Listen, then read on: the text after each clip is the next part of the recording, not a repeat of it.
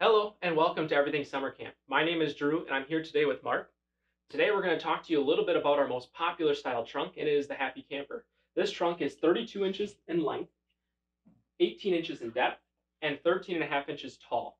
It has 3.8 cubic feet of storage and it's also available in 20 colors. And don't forget to check out our optional accessories to get the most out of this trunk, including our wheelaway system.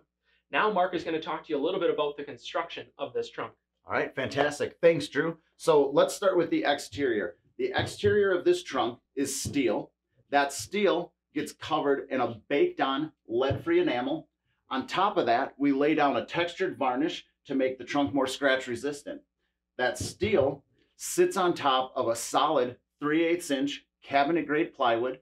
Um, in a little while, we'll open this up so that you can get a look at the, the plywood inside. But for now, let's stick with the exterior. So you'll see we have nickel plated hardware all over this trunk, including four crush proof corners. We've got four on the top, four on the bottom. We have these clamps all over the trunk. There's almost 20 of those. And the clamps are there to hold this trim in place and provide structural integrity. Moving to the front, the, uh, the face of the trunk, we have our latches. That's a basic wire loop latch. You see it's gonna really cinch the base of the trunk to the top of the trunk. Um, we have our center latch that accommodates any standard size padlock. You'll see there's a small handle there. If you're storing this trunk underneath the bed, that handle makes it a breeze to get the trunk out from underneath.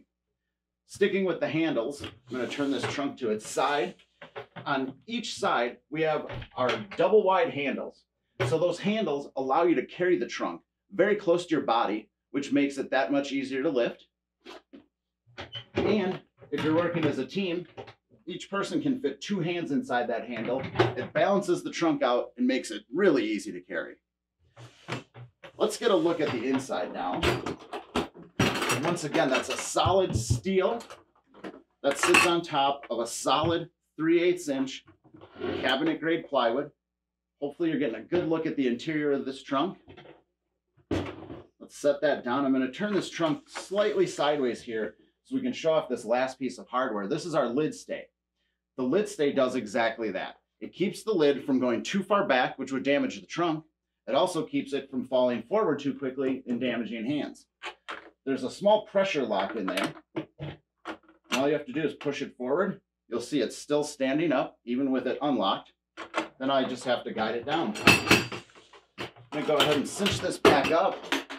Let's talk a little bit about durability. As you can see, Drew and I have been sitting on these trunks throughout the video here, but these trunks are made to be sat on. They're made for standing on. Drew, go ahead and demonstrate there.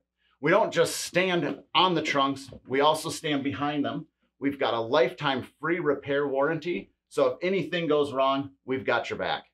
Awesome. Thanks, Mark. Thank you guys for shopping with Everything Summer Camp. We can't wait to help you get ready for your next adventure.